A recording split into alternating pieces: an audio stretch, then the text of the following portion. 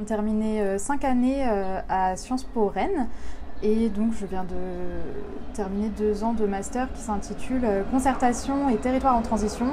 Donc ça apporte sur toutes les thématiques de démocratie participative, comment mettre en débat, en dialogue et mettre en contact des personnes et tout en ayant en tête ces enjeux de transition qui sont des enjeux essentiels aujourd'hui et comment on fait dialoguer ces deux, ces deux aspects.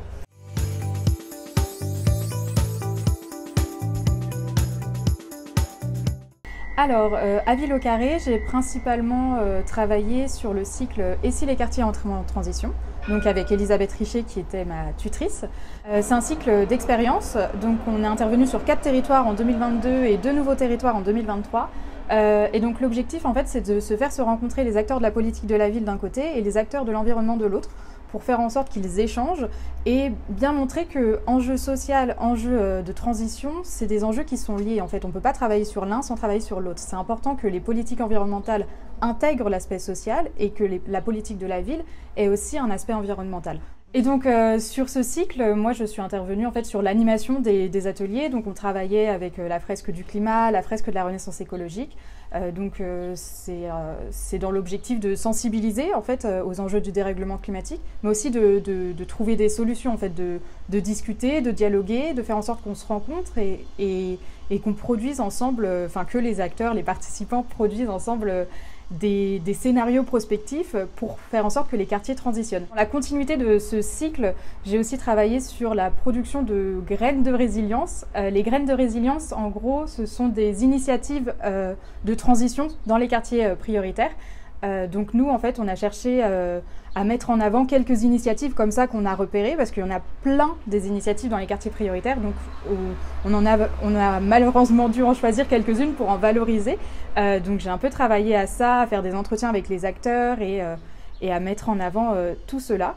J'ai pu participer à plusieurs autres missions ponctuelles où j'ai pu aller aider des collègues, j'ai pu assister à des séminaires. Je pense notamment euh, à la fabrique prospective qui portait sur la nature dans les quartiers prioritaires, à laquelle j'ai pu euh, assister.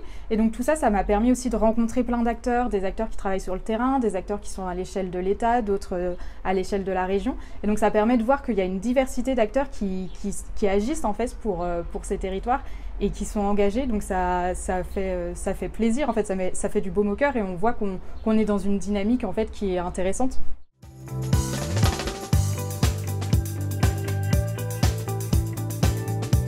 Que j'ai aimé à Ville au Carré, euh, alors d'abord sur l'aspect euh, au niveau de mon travail, d'émission, ça a été euh, la rencontre avec les acteurs. Ça a été de, de, voir tout ce qui se passe sur les territoires, de voir qu'il se passe plein de belles choses, qu'il y a plein d'acteurs engagés.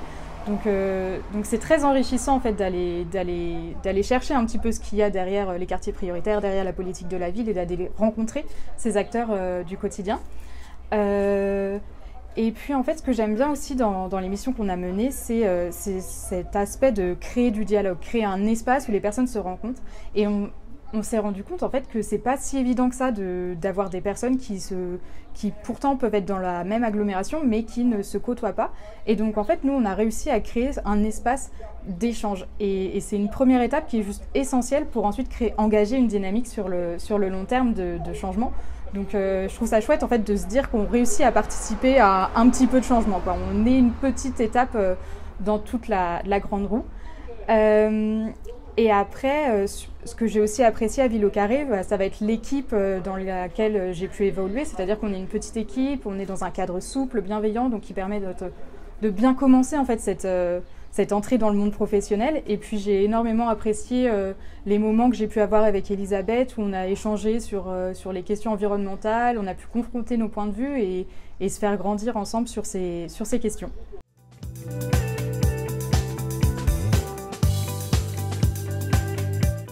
J'ai envie de continuer euh, de travailler sur les aspects de participation. j'ai notamment effectué mon mémoire sur, sur la participation des habitants dans les quartiers prioritaires. Euh, et donc en fait, ça m'a donné envie de, continuer à réfléchir à comment est-ce qu'on pouvait euh, développer cette participation, comment est-ce qu'on fait pour, euh, créer des espaces de dialogue. Et, donc j'ai cet aspect participation, démocratie participative qui, reste en tête. Et d'un autre côté, je pense que je vais toujours faire le lien avec les transitions, comment est-ce qu'on amène un changement dans, un monde qui est en train de changer et auquel il faut qu'on s'adapte.